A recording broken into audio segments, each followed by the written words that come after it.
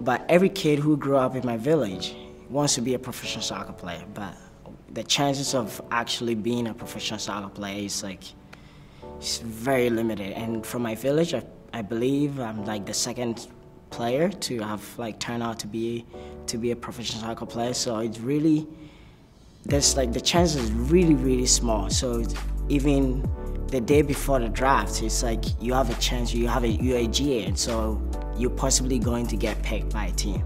But you just can't really believe. It's not like a reality. It's like you're dreaming. So I call my mom. You know, I'm trying to explain everything to her that I mean tomorrow I might be a professional soccer player, and you know that's something that I kept on telling her. And she, my mom has never seen me play soccer in real life. She just like never seen me play. She just hear from people that I play soccer and I'm somehow good, but she just never see me play. And so I, I told her, and she's like, "Oh, okay, good, okay, cool."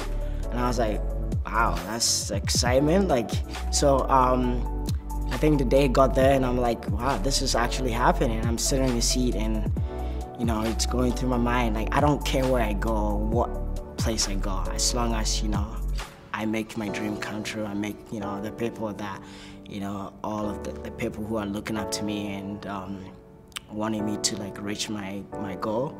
And um, I saw, I sat down and I got called and I just couldn't believe it. And I prepared a whole speech, but I couldn't even read it. I was just in tears, and I was shaking the whole time, and it was it was an unbelievable feeling. And um, up to now, I still I still can't believe I'm you know I'm in the league, and each and every day I'm like very thankful for the opportunity and making good use of it. So.